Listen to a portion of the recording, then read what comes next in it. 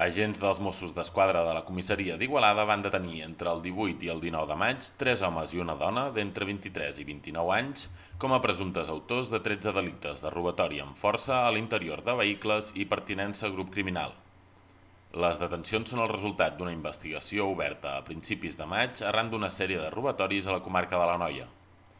Durant la investigació, els Mossos van determinar que tots els fets es produïen en aparcaments d'àrees de servei o restaurants propers a vies ràpides, com autovies i autopistes. Actuaven de manera coordinada i accedien als pàrquings en cotxe per cometre els robatoris de manera ràpida. Trencaven un dels vidres posteriors del vehicle i sostreien els objectes del seu interès.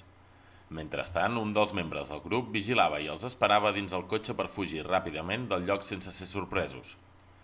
El grup, que està format per quatre persones, està implicat en 13 robatoris en poblacions de la Noia, el Bages i el Vallès. El passat 18 de maig, els investigadors van localitzar i detenir tres dels presumptes autors a Sant Fos de Campsentelles. Poc abans de la detenció, els autors havien comès un robatori en un vehicle al pàrquing d'un restaurant de Santa Eulària de Ronçana. L'endemà es va fer un registre al domicili dels detinguts on es va localitzar i detenir la quarta integrant del grup. En l'escorcoll es van localitzar molts dels objectes sostrets en els robatoris denunciats. Les investigacions continuen obertes i no es descarta que els detinguts estiguin implicats en més casos comesos arreu de Catalunya. Els detinguts van passar entre el 20 i el 21 de maig a disposició del jutjat d'instrucció en funcions de guàrdia de Mollet del Vallès i Badalona.